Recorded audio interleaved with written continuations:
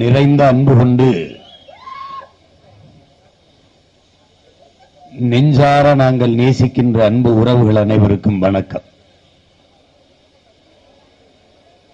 ஆயிரம் ஆயிரம் ஆண்டுகள் அடிமையாக வாழ்வதை விட சுதந்திரமாக சாவது மேலானது என்று வியட்நாம் விடுதலைக்கு புரட்சி செய்த ஹோசிமின் முழக்கத்தை முன்வைத்தார். அதை போலவே ஆயிரம் ஆயிரம் ஆண்டுகள் நாம் அடிமையாக வாழ்வதை விட ஒரு நொடியினும் சுதந்திரமாக வாழ்ந்து சாவது மேலானது என்று அறிவாசான் புரட்சியாளர் அம்பேத்கர் அவர்கள் கற்பித்தார்.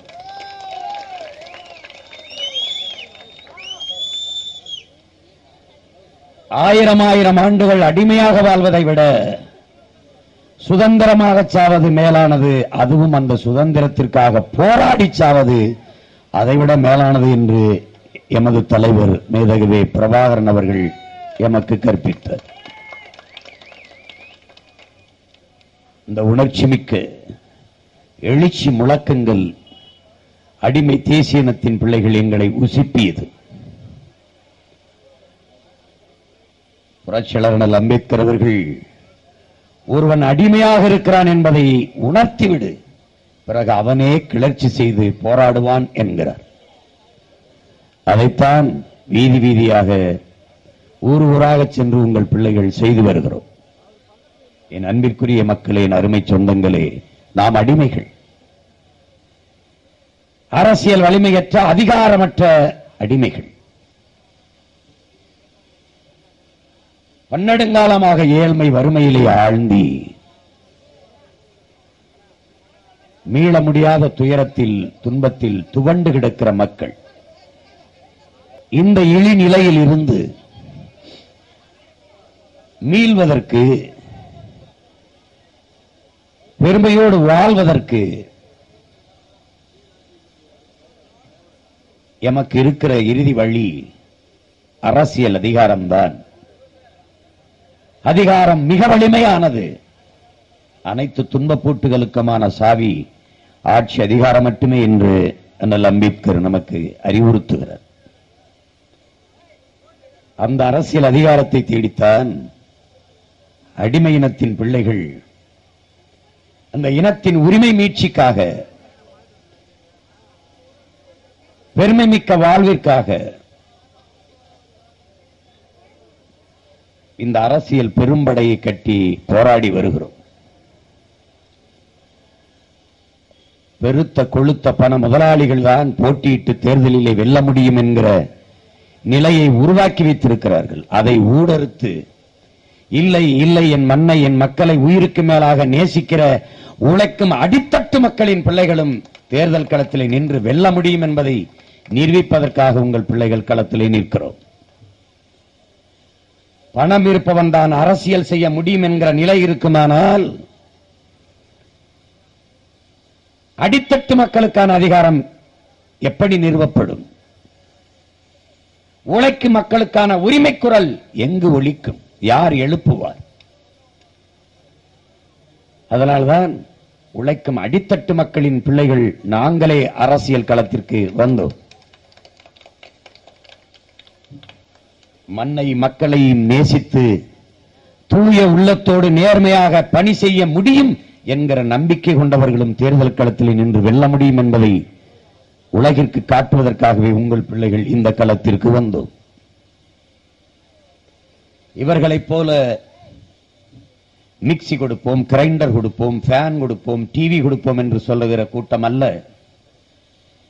அனைவருக்கும் சரியான சமமான தரமான கல்வியை இலவசமாக தருவோம். அந்த கல்விக்கேற்ற வேலையை தருவோம். அந்த வேலைக்கு ஏற்ற சம்பளத்தை தருவோம். அதை கொண்டு நீங்கள் வாழ்கிற பெருமை மிக்க வாழ்வை எம் மக்களுக்கு தருவோம்.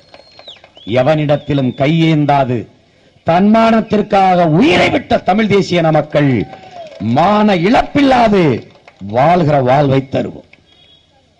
இலவசத்திற்கு கையேந்து இலவசம் என்கிற சொல்லையே ஒழிப்போம் உலகிற்கு சோரிட்ட ஒரு பேரினத்தின் பிள்ளைகள் முல்லைக்கொடிக்கு தேரை நிறுத்திவிட்டு போன பாரியின் வாரிசுகள் மயிலுக்கு போர்வையை போர்த்திய பேகனின் பேரனும் பேத்திகள் இலவச வேட்டி சேலைக்கு ஏங்கி நிற்பது எவ்வளவு பெருத்த அவமானம். எல்லோரும் என் அன்பு சொந்தங்களை கல்லுமாவிலே கோலமிட்டுக் கொண்டிருந்தான். நாம் தான் அரிசி மாவிலை கோலமிட்டோம். ஈக்கும் எறும்புக்கும் இரையாக இருக்க வேண்டும் என்று எல்லோரும் வாசலிலே நாயை கட்டினார்கள். நாம் தான் திண்ணையை கட்டினோம். போவோர் வருவோரெல்லாம் விருந்துண்டு இருந்து ஓய்வெடுத்து செல்லட்டும் என்று எப்படிப்பட்ட இனத்தின் கூட்டம்? கோட்டை கட்டி ஆண்ட ஒரு இனம் கோணி துணி கட்டி தூங்குகிற நிலையில் தள்ளப்பட்டிருக்கிறோம். இந்த நிலையில் இருந்து எமது மக்களின் வாழ்வாதாரத்தை மேம்படுத்திட முடியாதா? அஞ்சுக்கும் பத்துக்கும் அரிசிக்கும் பருப்புக்கும் வேட்டிக்கும் சேலைக்கும் கையேந்திர நிலையில் இல்லாத என் மக்களின் வாழ்க்கை தரத்தை பொருளாதாரத்தை மேம்படுத்தி விட முடியாதா? என்ன வளம் இல்லை? காடு இல்லையா? மலை இல்லையா? கடல் இல்லையா? ஆறு இல்லையா? அருவி இல்லையா? நிலம் இல்லையா? அதில் வளம் இல்லையா? உழைக்க உடலிலே வலுவில்லையா? எல்லாம் இருந்தும் ஏன் நாங்கள் பிச்சைக்கார கூட்டர்காமானோம்? அறிவிச்சிறந்த எனது மக்கள் கற்றறிந்த என் தம்பி தங்கைகள் சிந்திக்க வேண்டும். வாக்குக்கு காசு வாங்கி நாம் வாக்கு செலுத்துவது என்பது நமது தன்மானத்தை அடமான வைக்கிற செயல். ஐநூறு ரூபாய் கொடுப்பார்கள் ஆயிரம் ரூபாய் கொடுப்பார்கள். ஐந்து நாட்கள் பசி இல்லாமல் சாப்பிடுவோம். ஆனால் ஐந்து ஆண்டுகள் பட்டினி கிடப்போம். தேடுங்கள் அறிவில் சிறந்த பெருமக்களே தேடுங்கள். இந்த கடையில் நல்ல சோறு கிடைக்கும் நல்ல சாப்பாடு கிடைக்கும் என்று தேடி போய் சாப்பிடுகிற எனது மக்கள் இந்த கடையில் நல்ல சேலை கிடைக்கும் என்று தேடி தேடி போய் வாங்குகிற எனது மக்கள் இந்த கடையில் நல்ல வேட்டி கிடைக்கும் என்று தேடி தேடி வாங்குகிற மக்கள் இந்த கோயிலுக்கு போய் கும்பிட்டால் இந்த வரம் கிடைக்கும் என்று தேடி சென்று வணங்குகிற எனது மக்கள் ஆறு மாசத்தில் கட்டி கிழிக்கிற வேட்டி சேலையவே தேடி தேடி பார்த்து பார்த்து வாங்குகிற நீங்கள் ஐந்தாண்டு காலம் நம் எதிர்காலத்தை தீர்மானிக்க போற தலைவனை ஏன் நீங்கள் தேடுவதில்லை? மதிப்புமிக்க நமது உரிமையை விற்பதென்பது சில ரொட்டி துண்டுகளுக்காக விற்பதென்பது அவமானகரமானது என்று அண்ணல் அம்பேத்கர் நமக்கு போதித்திருக்கிறார். அறிவில் சிறந்த தம்பி தங்கைகள் கற்றறிந்த பிள்ளைகள் நீங்களேனும் என் வாக்கு விற்பனைக்கு அல்ல என்பதில் உறுதியாக இருங்கள். வாக்கு என்பது ஜனநாயகத்தின் வலிமை மிக்க கருவி ஆயுதம். அடிமை நிலையில் தாழ்த்தி வீழ்த்தி வைத்திருக்கிற நாம் உரிமை பெறுவதற்கு ஏந்துங்கள். அநீதியை அழித்து நீதியை நிலைநாட்ட கேடுகட்ட பணநாயகத்தை ஒழித்து மாண்புமிக்க ஜனநாயகத்தை மலரச் செய்ய தீய ஆட்சி முறையை ஒழித்து ஒரு தூய ஆட்சி முறையை மலரச் செய்வதற்கு அதற்கேக வேணும் நீங்கள் வலிமை மிக்க அந்த ஆயுதத்தை ஏந்துங்கள். திமுகவை விட்டால் அதிமுக அதிமுகவை விட்டால் திமுக. அந்த கருத்தை விடுங்கள். இரண்டு பேரையும் விடுங்கள். உங்கள் பிள்ளைகள் நாங்கள் இருக்கிறோம் உங்களுக்கு. ஒரு மாற்று அரசியலை தூய அரசியலை அறிவை வளர்க்கும் கல்வி இலவசம். ஏழை பணக்காரன் உயர்ந்தவன் தாழ்ந்தவன் என்ற பாகுபாடின்றி சரியான சமமான தரமான கல்வி எல்லோருக்கும் இலவசம். உலக தரத்திற்கான கல்வி. உயிரை காக்கும் மருத்துவம் ஏழை பணக்காரன் என்ற பாகுபாடற்று அனைவருக்கும் இலவசம். நாட்டின் முதலமைச்சருக்கு என்ன மருத்துவம் முதல் குடிமகனுக்கு என்ன மருத்துவமோ அது கடைகோடி மனிதனுக்கும் கிடைக்கிற வாய்ப்பை உங்கள் பிள்ளைகள் ஏற்படுத்தி தருவோம். பெற்றுக் கொடுங்கள் பிள்ளைகளை கற்றுக் கொடுக்கிறோம் நாங்கள். பிள்ளைகள் வீட்டின் செல்வங்கள் அல்ல நாட்டின் செல்வங்கள் என்று சட்டம் இயற்றுவோம். ஒரு ரூபாய் முதல் ஒரு கோடி வரை மருத்துவ செலவை பெற்றோர்களுக்கு முடியலையா பிள்ளைக்கு முடியலையா அரசே ஏற்று செய்யும். ஆக சிறந்த மருத்துவம் தூய குடிநீர் இலவசம். நீர் என்பது உலக உயிர்களின் உயிராகாரம் மனித தேவை மட்டுமல்ல. அந்த நீர் விற்பனை பொருளாக மாறிவிட்டது. காசு கொடுத்து வாங்கி குடிக்கிற நிலைக்கு வந்து விட்டோம். நீர் விற்பனை பொருள் அல்ல என்று தடை சட்டம் போடுவோம். தண்ணீரை இலவசமாக என் மக்களுக்கு தூய குடிநீரை கொடுப்போம். பத்தாண்டு பசுமை திட்டம் பல கோடி பனை திட்டத்தை நிறைவேற்றுவோம். பச்சை போர்வையால் என் பூமியை போர்த்துவோம். சாலையெங்கும் பசுஞ்சோலை சாலைகள் பள்ளிகளெங்கும் பசுஞ்சோலை பள்ளிகள். மனிதர்கள் இல்லாத மரங்கள் வாழ முடியும். மரங்கள் இல்லாத மனிதர்கள் வாழ முடியாது. எனவே மரம் அதை வளர்ப்பதே மரம் மண்ணின் வரம் அதை வளர்ப்பதே மனித அறம் என்று சட்டம் இயற்றி மரங்களை வளர்க்கிறவர்களுக்கு நிறைய மரங்களை வளர்த்து காட்டுகிறவர்களுக்கு ஊக்கத்தொகை கொடுப்போம் தமிழ் தேசிய சிறந்த குடிமகன் விருது கொடுப்போம். பள்ளி பிள்ளைகள் கல்லூரி பிள்ளைகள் அதிகமாக மரக்கன்றுகளை நட்டார்கென்றால் அவர்களுக்கு பிராக்டிக்கல் மதிப்பு என்பது போல அவர்களுக்கு கூடுதல் மதிப்பெண் பத்து மதிப்பெண்கள் கொடுப்போம் தேர்வில். நாங்கள் பேசுவதெல்லாம் சிரித்தார்கள். பிலிப்பைன்ஸ் நிறைவேற்றுகிறது சீனா சட்டம் போடுகிறது. மரங்களை வெட்டினால் மனிதர்களை வெட்டுவது போல குற்றம் என்று சட்டம் ஏற்றி தண்டனை கொடுப்போம் என்றோம் சிரித்தார்கள். சீனா சட்டம் இயற்றியிருக்கிறது. மரக்கன்றுகளை நற்று வருகிற பிள்ளைகளுக்கு நாங்கள் கூடுதலாக மதிப்பெண் போடுவோம் என்று இன்னைக்கு பிலிப்பைன்ஸ் நாடு சொல்லுகிறது.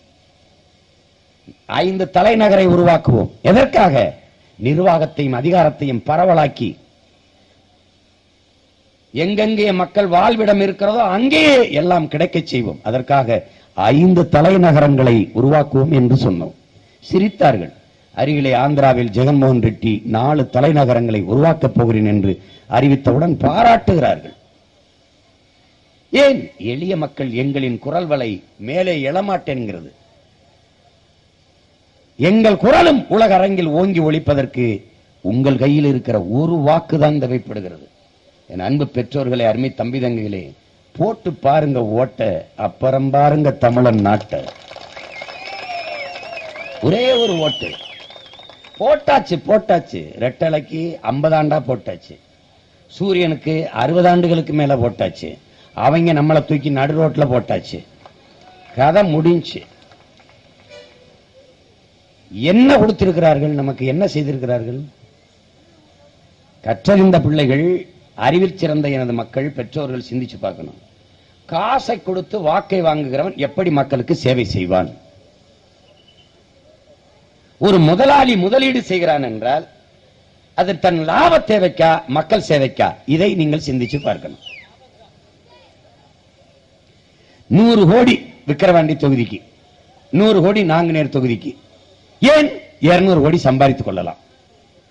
இது முதல் போட்டு அதிக லாபம் ஈட்டுகிற தொழிலாக மாற்றி விட்டார்கள் அரசியல் என்பது தன்னலமற்று உண்மையும் நேர்மையுமாக மக்களுக்கு சேவை செய்கிற புனிதமான அமைப்பு. அதை மாற்றி கெடுத்து விட்டார்கள். எனவே என் அன்பு மக்கள் என் அருமை சொந்தங்கள் நேரம் ஆயிட்டா சொல்லுங்க. நேரம் ஆயிட்டா சொல்லுங்க. நேரம் ஆயிட்டா. கிடையாது இல்லை. என் அன்பு மக்கள் என் அறிவு அன்பிற்குரிய சொந்தங்கள் எளிய பிள்ளைகள் உங்கள் பிள்ளைகள் எங்களுக்கு வாக்கு தந்து எங்களை வலிமைப்படுத்துங்கள். எங்கள் கைகளுக்கு வலிமை தாருங்கள். இழந்துவிட்ட உரிமைகளை பிச்சை கட்டு பெற முடியாது. போராடித்தான் பெற்றாக வேண்டும் என்கிறார் புரட்சியாளர் அண்ணல் அம்பேத்கர். அப்படி இழந்துவிட்ட உரிமைகளை போராடி பெற வேண்டும் என்பதற்காக புறப்பட்டு வந்த பிள்ளைகள் தான் உங்கள் பிள்ளைகள். நாங்கள் வானத்திலிருந்து வல்லவில்லை உங்கள் வயிற்றிலிருந்து வந்திருக்கிறோம். உலகத்தின் ஏதோ ஒரு ஓரத்திலிருந்து வந்தவர்கள் அல்ல உங்கள் உடன் பிறந்தவர்கள் தான் நாங்கள். எல்லோரும் சொல்வார்கள் இரட்டை இலை விவசாயிகளின் சின்னம். உதயசூரியன் விவசாயிகளின் சின்னம். உங்கள் பிள்ளைகள் எங்களுக்கு விவசாயியே சின்னம். இருபத்தி ஒன்னாம் தேதி நடக்க இருக்கிற தேர்தலில் வாக்குச்சாவடிக்குள் செல்லுங்கள். வாக்கு எந்திரத்தை பாருங்கள் என் பெற்றோர்களே என் பிரியத்திற்குரிய சொந்தங்களே.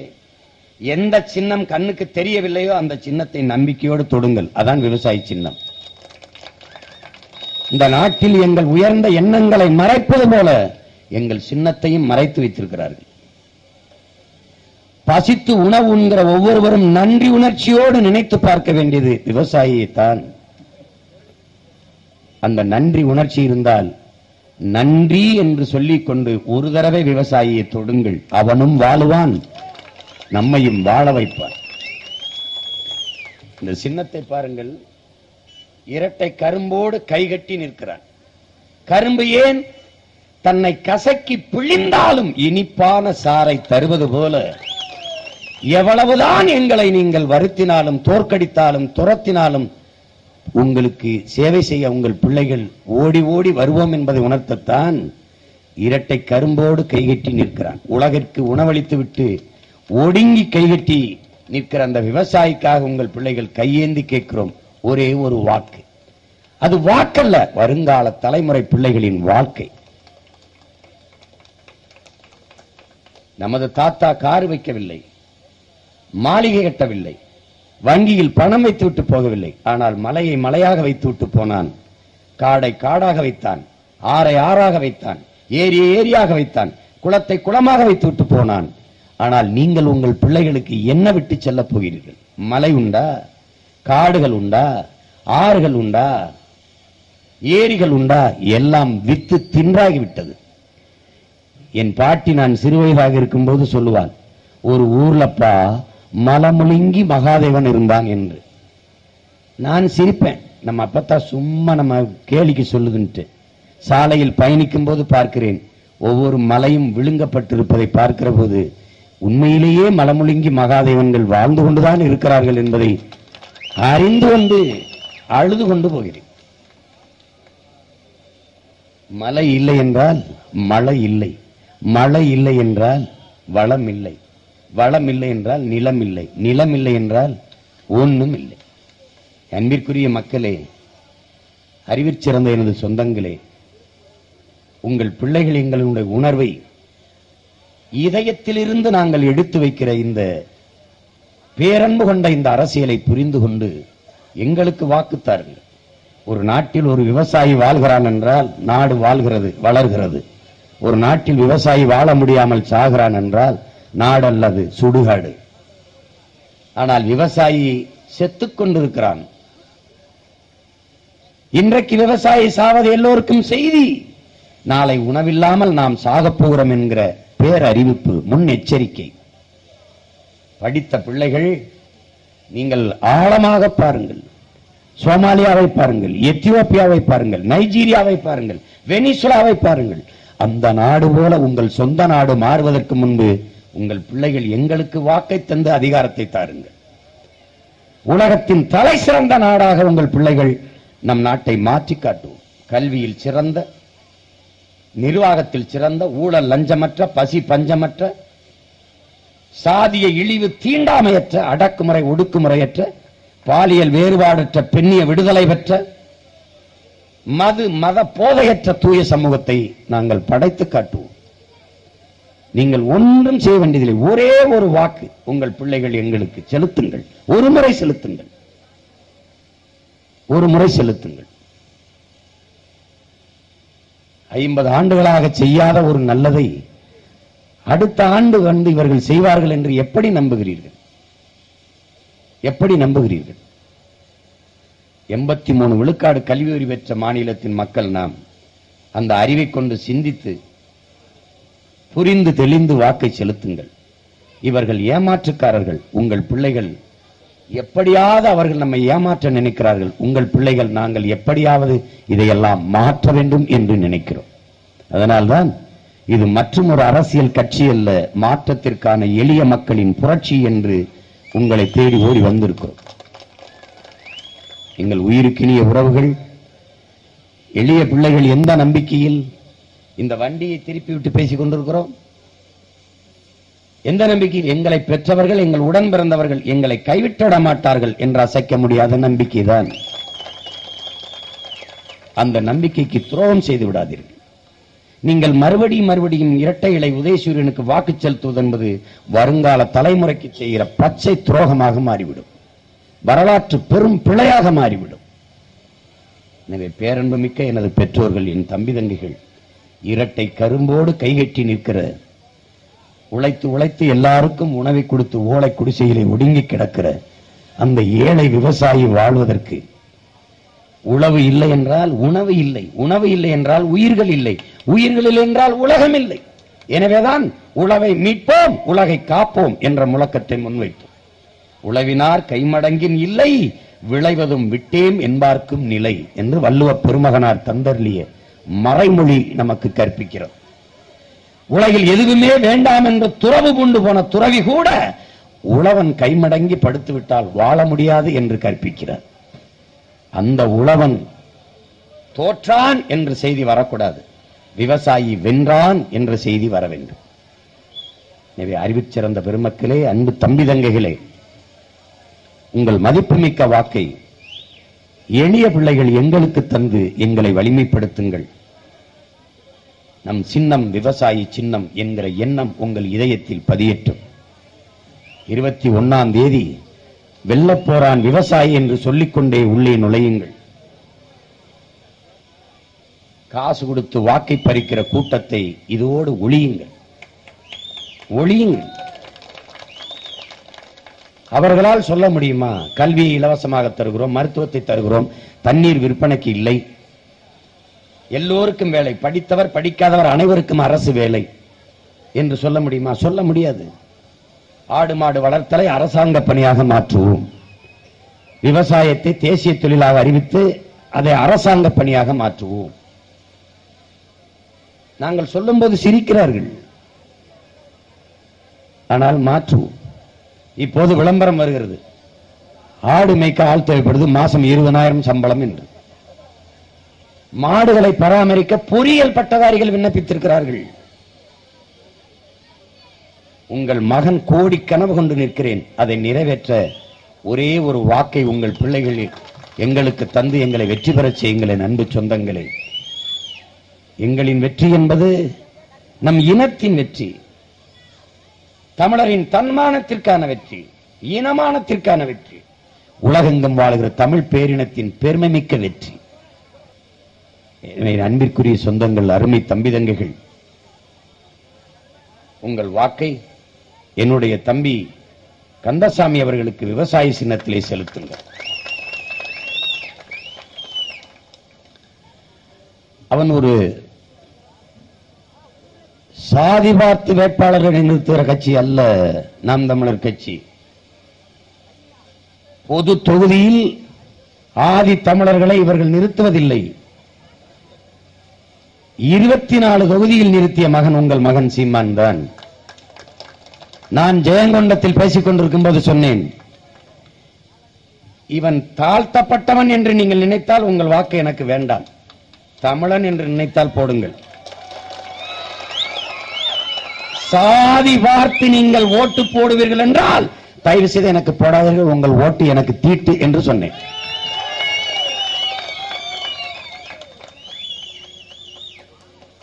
இந்த சாதிக்காரர்கள் அதிகம் இவர்களை இந்த சாதிக்காரன் நிறுத்தினால் தான் ஓட்டு போடுவார்கள் என்று துளியும் சிந்திப்பது கிடையாது நாங்கள் நாம் தமிழர் கட்சி.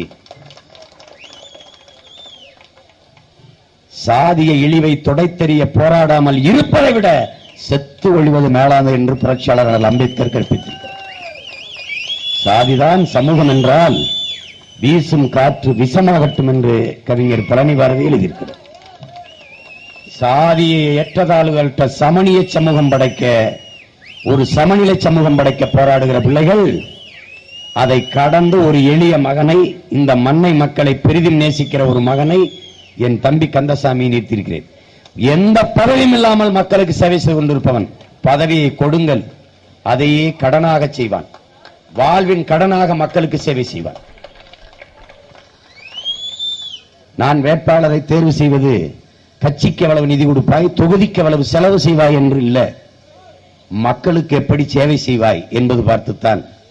அப்படித்தான் என் தம்பி கந்தசாமியை தெரிவு செய்திருக்கிறோம். என் அன்பிற்குரிய மக்களே இவன் உங்கள் மகன் உங்கள் பிள்ளை. இவனை வெல்ல வைப்பது நமது வெற்றி.